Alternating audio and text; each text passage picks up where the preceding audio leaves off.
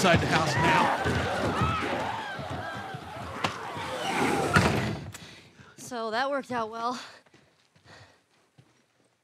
Okay, uh, I'll go check out this side of the house.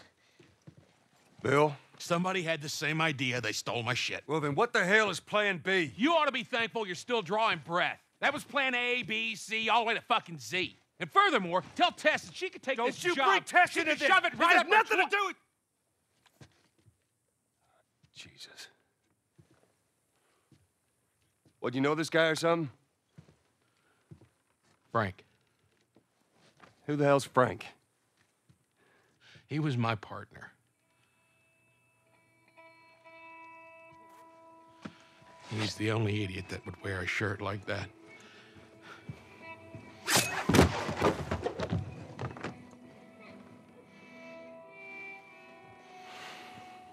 He's got bites. Here. And he-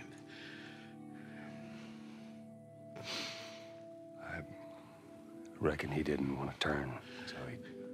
yeah, I guess not.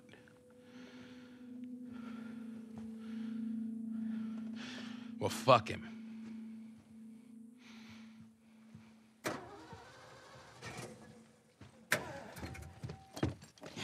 Look what I found. Got some juice in it. That's my battery. That fucking asshole. Get out. Get out. Okay. Jeez.